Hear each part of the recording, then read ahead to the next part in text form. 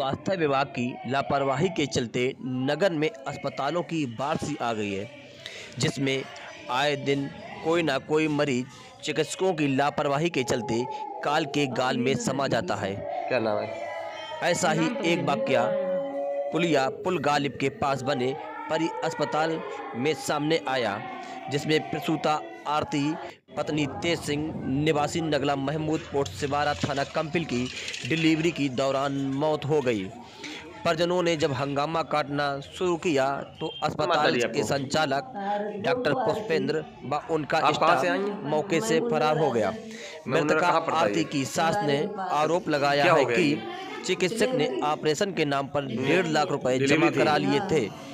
वहीं? सूत्रों की माने तो अस्पताल में डिलीवरी कराने के लिए कोई एएनएम आया करती थी।